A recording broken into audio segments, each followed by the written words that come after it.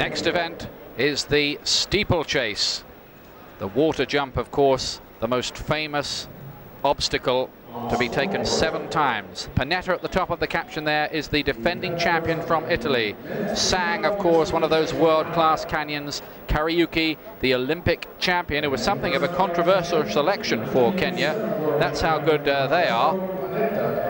Tom Hanlon of Britain in fine form, Melzer the former European champion, and Moses Kiptanui the favourite, number 711 from Kenya, of course.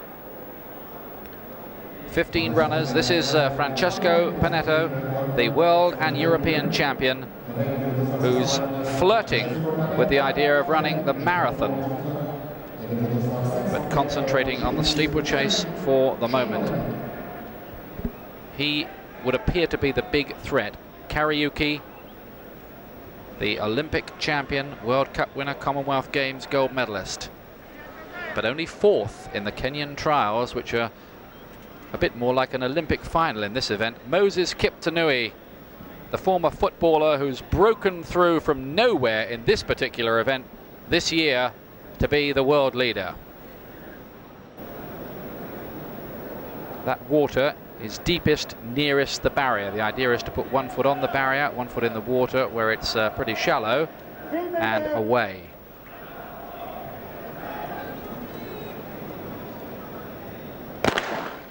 The World Championship steeplechase final and a fascinating race here in prospect.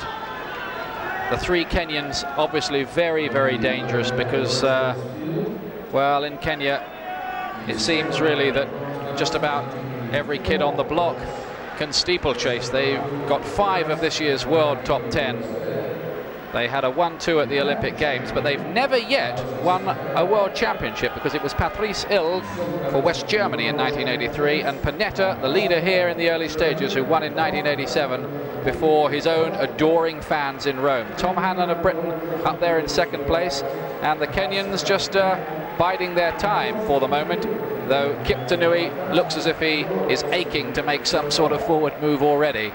Yes, and there he is on personal best. He's the fourth fastest in the field, but he's the fastest this year.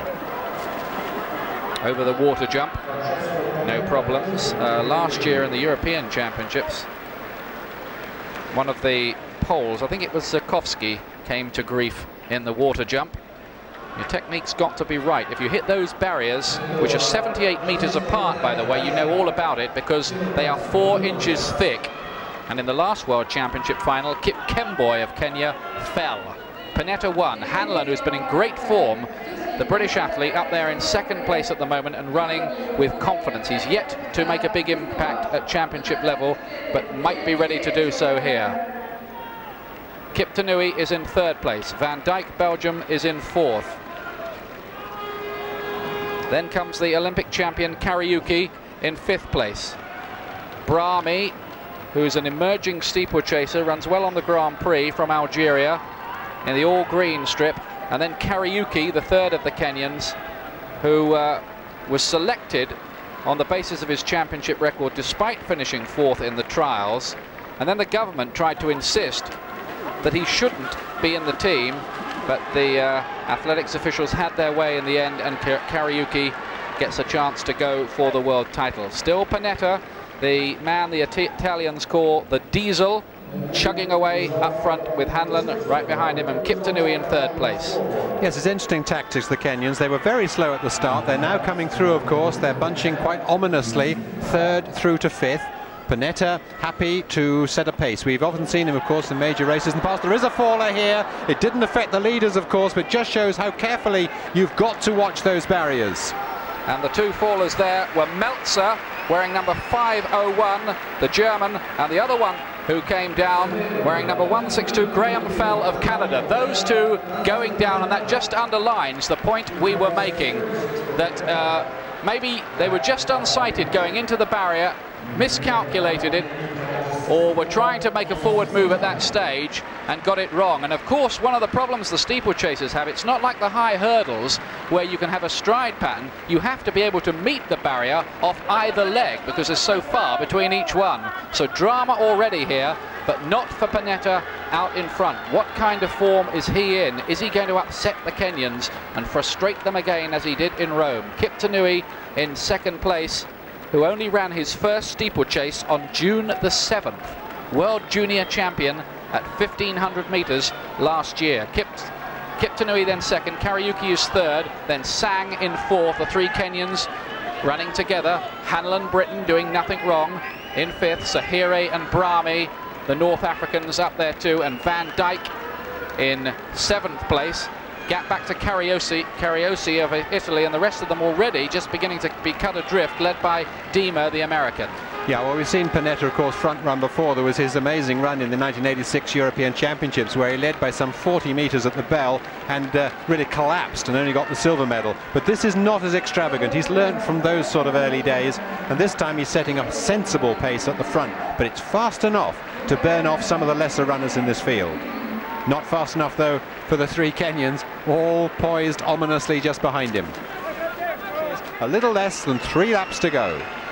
And the Kenyans here, well, is it going to be a clean sweep from there? One, two, three at the moment. Kiptanui is in the lead. But it's Kiptanui one. In second place now is Kariuki and then Sang. Those three Sahere of Morocco's gone fourth. Panetta seems to be dropping back. Brahmi's gone fifth. Tom Hanlon's falling back to of Great Britain, and he's uh, going backwards all the time now and looks completely beaten and all out at this stage. He will not be collecting any medals. Still these three Kenyans, lovely fluent steeplechasers. And of course in Kenya, a lot of the boys have to run to school every day. I wonder if that's where they pick up the idea because it's like kind of cross-country converted to track this event. Kiptanui in first place. Kariuki is in second, Sang is in third. But those North Africans look pretty dangerous. Sahere, who's much improved, and so too is Brahmi. Panetta, and what a great run to get back in touch from Brian Diemer, the Olympic bronze medalist of 1984, who looked to be struggling at one stage, but he's right back up there with them. It slowed down. It has slowed down. They must uh, respect, I think, Sahere too, because Sahere is a 1500 metre runner. He got a medal in the African Championships last year, and if you got a medal in the African Championships at any running event, you're pretty good. Kiptanui loves to front run. Have to tell you that uh, in a recent race on the Grand Prix, when he looked on world record schedule, he hit a barrier on the far side, and that may well have cost him the world record. In fact, talking about those African championships, 1500 metres, I said Sahere got a medal. Yes, it was a silver medal, and it was Kiptanui, in fact, who won the gold. So he's got some speed. In fact, he won the World Junior title last year at 1500 metres as well. And he's running this very, very confidently. He's only had a handful of races at this discipline, but he's running this like a veteran, looking round and looking ominously comfortable. Kiptanui, the 19-year-old, or so we're told. Kariuki so experienced, though, at championship level as they take the bell and Sang in third place is the fourth fastest of all time. Still with them is Brahmi of Algeria. Looks to be between those four. Gap back to Sahere and then Diemer who's lost touch again after his brave run. On the back straight for the final time and this looks like it might be a Kenyan gold, silver and bronze. But who gets what and is Brahmi got something of a shock in store for these Kenyans? Kiptanui still leading. Kariuki is the challenger. Sang still third now. Brahmi is beginning to get on the scene. Kariuki just dropping back. Kiptanui trying to wind it up, but he's got to get his stride right for the water jump for the final time, and he does that. Still Moses Kiptanui is the teenage discovery going to take the gold medal in his first season in the event. Sang's gone into second place. Kariuki's dropped back. Kiptanui, Sang is the challenger now on the outside, but Kiptanui, using his 1500 meter speed, comes away. He's going to be the world champion. Sang gets the silver medal. Brahmi, great run. Bronze for him to separate the Kenyans. Kariuki comes in in fourth place, then Diemer fifth, Carosi in sixth place, the Italian. Panetta is only seventh. Uh, Van Dijck will be in eighth place. Those are the leading eight. But the story is that this young man who ran his first steeplechase on June the 7th at the Armed Forces Championships in Kenya, less than three months later, he is the champion of the world. Another astonishing story from Tokyo. Well, just like in the 10,000 metres where the Kenyans had gold and silver, they've done it again in the steeplechase. And I wonder what odds the bookmakers would have given you on that. About 20 to 1 on, I would think.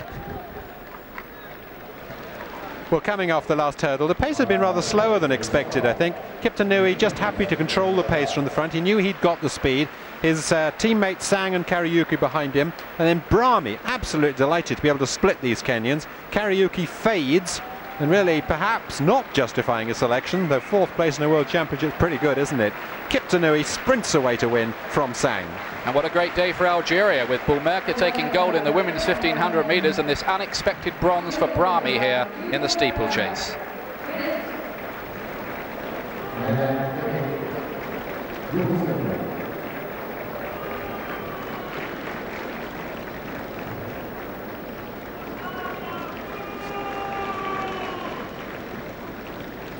Well, there they are together, the two Kenyans, Kiptanui and Sang there on the outside.